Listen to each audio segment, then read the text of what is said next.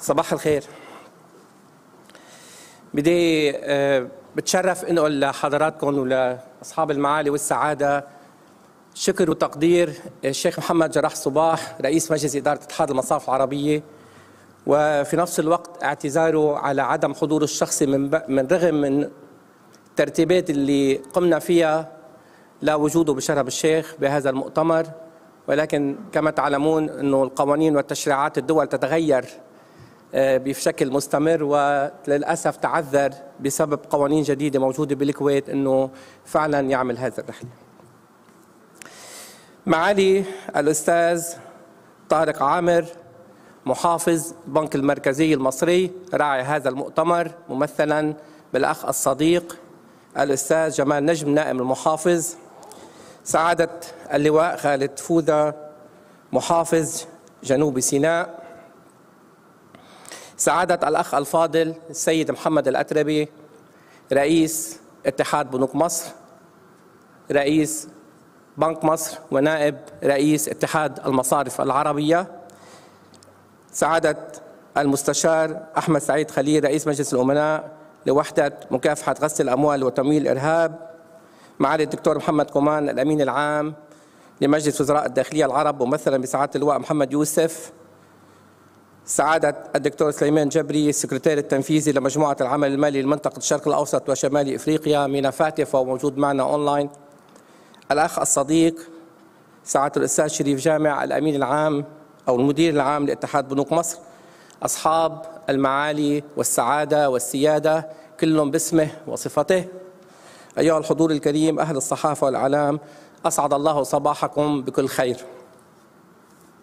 يسعدني أن أتحدث إلى جمعكم الكريم وأتقدم منكم جميعا بجزيل الشكر والتقدير على مشاركتكم في فعاليات هذا المنتدى رغم الظروف الصحية والقوانين التي ترعاها. وأخص بالشكر معالي الأستاذ طارق عمل على رعايته لهذا المؤتمر. والأستاذ محمد الأتربي على تعاونه ودعمه الدائم وللأخ الصديق سعادة المستشار أحمد سعيد خليل ولسعادة اللواء خالد فودة على حضوره الشخصي معنا اليوم. والشكر موصولا إلى ضيوفنا الأعزاء كلهم باسمه وصفته والأخوة المشاركين من كافة الدول العربية وإلى الزملاء الكرام من قطاعنا المصرفي المصري. أنا حقيقة ما عندي كلمة يعني كانت أساسا ما في كلمة كانت كلمة لمعالي آه، رئيس اتحاد المصاف العربي. ولكن بدي أتحدث بثلاث نقاط رئيسية. قبل ما أتحدث بلا شك أستاذ طارق فايد الأخ الصديق وعضو مجلس إدارة اتحاد المصارف العربية. أهلا وسهلا بك وشرفت وجميع رؤساء المصارف المصرية. بداية لابد من شكر مصر. حقيقة أنا عم بقول شكر يعني زميلي أستاذ موريس متى شكر مصر لأنه وقفت حد لبنان، أنا عم بقول بتشكر مصر لأنه وقفت حد اتحاد المصارف العربية، فعلا. شكر لأهل مصر شكر للسلطات المصرفية المصرية شكر للسلطات السياسية شكر للرقابة. فعلا يعني لو ما مصر اتحاد اليوم في أزمة أنا عم بحكي من القلب عم نحكي ما شهدناه بعام 2020 بنفس الوقت أنا كعربي بشعر بفخر أنه في دولة مثل مصر. فعلا يعني هالإصرار والعزيمة والتخطيط وال يعني بشكل صارم من السلطة السياسية للتقدم بمصر.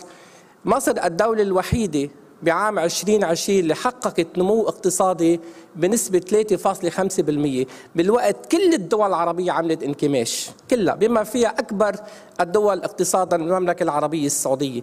حققت انكماش بحدود 3% ناقص 3% الإمارات قطر البحرين الأردن طبعا بشكل لبنان يعني لبنان هلأ وضع صعب. كل الدول العربية حققت انكماش بنمو اقتصادها ما عدا مصر 3.5 وهذا تقارير البنك الدولي وصندوق النقد الدولي. مصر بالقطاع المصرفي المصري هي الأولى عربيا للدول غير نفطية. إذا بتاخذ ميزانية الإجمالي موجودات البنوك المصرية تقريبا صارت نص تريليون دولار حوالي 455 مليار دولار. عم نحكي عن موجودات القطاع المصرفي المصري. إذا بناخذها ترتيب عربيا تأتي الإمارات بالدرجة الأولى ومن ثم السعودية ومن ثم قطر ومن ثم مصر. بس أول ثلاث دول لدول نفطية وأموال النفط تدخل إلى المصارف وبالتالي حجم المصارف تكون كبيرة. مصر لا منا دولة نفطية دولة إنتاجية. هي الأولى عربيا إذا بنحكي كدول غير نفطية. القرارات جديدة مذهلة مذهلة فعلا. عم نحكي على التطور الاجتماعي وقت لما يكون في قرار انه يكون في قروض سكنية. ل 30 سنة بفائده 3% هيدا عم عم نرفع مستوى المواطن المصري اللي يعيش بشكل جيد. القرار الأخير بتسهيل فتح الحسابات. هذه أكبر عملية الشمول المالي بالتاريخ بعد عملية قناة السويس. لأنه وقت لما تقدم خدمة مالية لكل الشعوب هون عم نحارب الفقر. عم نعطي مجال إنه الشعب يتطور. عم نعطي مجال إنه يصير في تمويلات للمشروعات الصغيرة ومتناهيه الصغر. طبعا عم يكون في تنسيق مع وحدة مكافحة غسل الأموال لمراعاة القوانين والتشريعات فيما يتعلق مكافحه غسل الأموال. وهذا الموضوع طبعا ضروري جدا ليس فقط بالشمول المالي وتقديم خدمة مصرفية لكل الشعب مهما كان فئاته. بل أيضا بيستكمل الخطوة الأولى بموضوع القروض السكنية لأنه لما البنك بده يعطي قرض سكني ضروري يكون عنده حساب. هذا القرار عمره يومين. ففعلا تهنئة للسلطات السياسية والسلطات النقدية والجهاز المصرفي المصري على كل هذه الإجراءات اللي عم أقول فيها. بالنسبة لموضوع مؤتمرنا طبعا موضوع مؤتمرنا هو جديد قديم. يعني مواضيع بتتعلق بالريجوليشنز والقوانين والرقابة وخاصة مكافحة غسل الأموال ومكافحة تمويل الإرهاب هذا الموضوع ما حي ما حي يعني ما حيخلص بنلاحظ إنه على طول المؤسسات الرقابية عم تعطي قوانين جديدة بهذا الموضوع. every day FATF وزارة الخزانة الأمريكية Financial Stability Board كل المؤسسات الرقابية الدولية كل يوم تطلع بقوانين جديدة.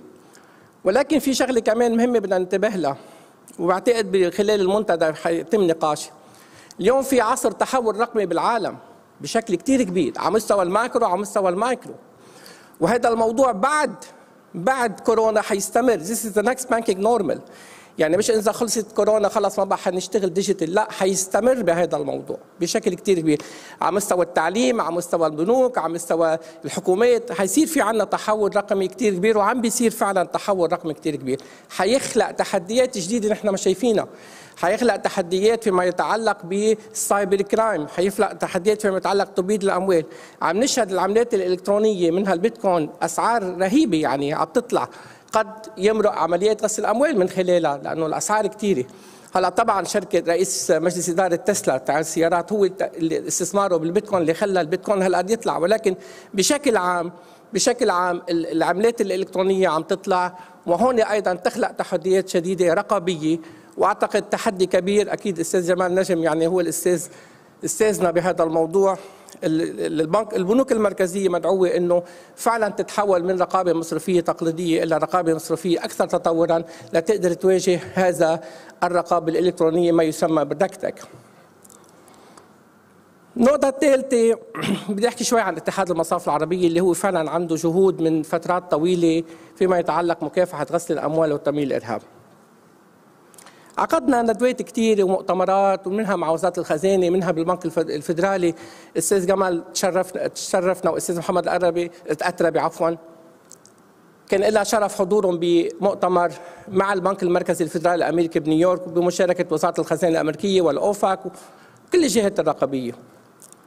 أحد هذه المؤتمرات وتحديدا 2016 نحن كاتحاد بصفتي امين عام طلعنا بفكرة إنه نعمل مجموعة مجموعة من ال compliance officer عبارة عن أكبر 13 بنك عربي البنك الأهلي المصري مشارك فيها. مماثلة للمجموعة وولسبرغ إذا بنعرف إذا إذا عارفين طبعا كل العالم تعرف مجموعه وولسبرغ اللي هي أكبر مجموعة مصرفية في العالم بتضم 13 بنك دولي. عم نحكي ب Citigroup Standard Chartered UBS بنك طوكيو ميتسوبيتشي يعني من كل دول العالم.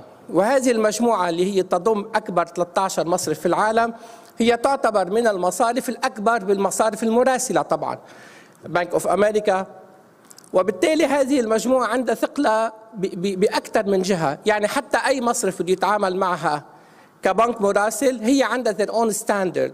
بالإضافة للستاندرد الدولي بالتعامل مع المصارف المراسلة من قوانين تشريعات مكافحة غسل الأموال وغيره وغيراته لبل وولسبرغ group 13 مصرف إذا أي بنك بده يتعامل مع أحد هالمصارف بقول I have my own standard تتعامل معي. أهلا وسهلا.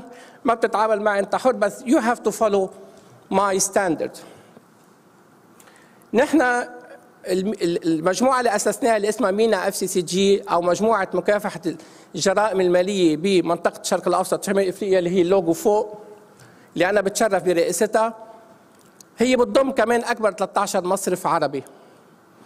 اسسناها عام 2016 الوولسبرغ تأسست عام 2000 يعني عمرها 21 سنة.